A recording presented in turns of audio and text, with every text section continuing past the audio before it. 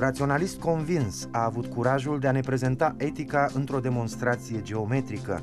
Credința sa într-o entitate unică precum substanța i-a făcut pe unii să-l considere ateu. Înțelegerea necesității ca definirea libertății este încă o opțiune valabilă.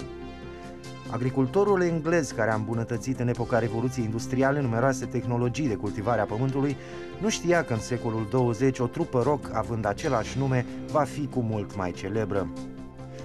Părintele filologiei și lingvisticii românești a avut și o intensă activitate politică.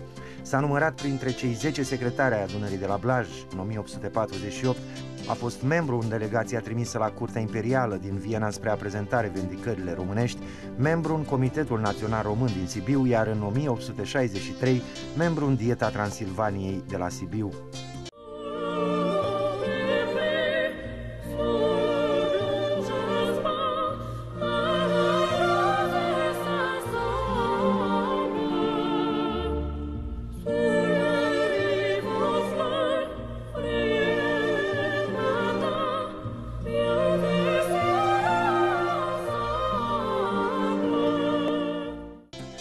Ironia cu care și-a început Marx lucrarea, aceea că o stafie bântuie prin Europa, s-a transformat pentru mai bine de jumătate de secol într-o crâncenă tragedie. Sofismul din final e la fel de idealist.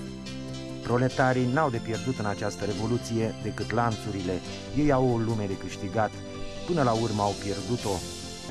Încă de la începutul anului 1852, starea sănătății sale s-a înrăutățit. A refuzat orice medicament și a intrat într-un post prelungit care i-a fost fatal, nu înainte de a arde volumul al doilea al Sufletelor moarte pe care tocmai îl terminase. Creatorul lui Moșteacă era considerat unul dintre cei mai mari poeți ai prozei gazetărești, dar și un pamfletar neobosit. Microbiologul german a studiat modificările serice în cursul apariției imunității în holeră, tifos, difterie, tetanos și gripă.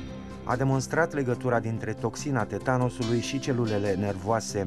Celebrul a făcut reacția serologică de depistare a infecției lui etice.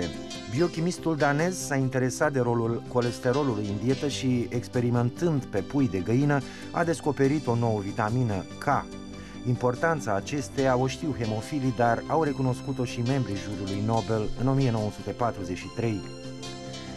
Pictorul a fost prezent alături de Grigorescu, Mirea și Pop de Sat Marie pe frontul războiului de independență, imortalizând aproape fotografic scene de bătălie, scene de muncă sau de repaus. În ultima perioadă a creației a pictat mai ales portrete de țărani îmbrăcați în costume populare din zona sa natală de pe Valea Sebeșului.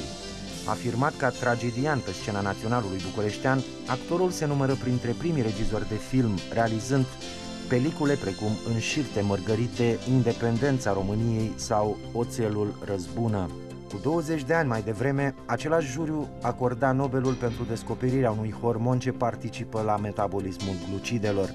Canadianul Benting și americanul Best au fost preferați românului Paulescu. Acesta botezase hormonul pancreină, iar occidentalii insulină.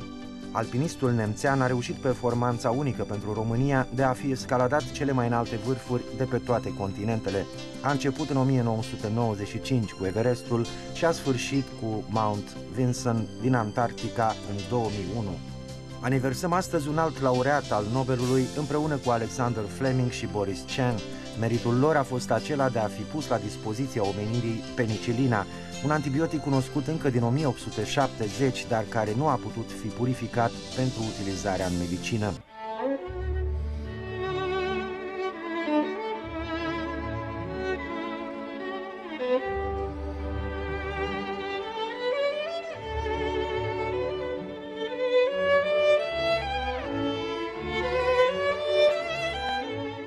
A încercat să o spună și altă dată față de viața asta de zi cu zi a unui autor de literatură, opera lui este echivalentă cu o moarte, este adică viața lui povestită, așezată mai ales sub semnul începutului și sfârșitului și nu sub al devenirii.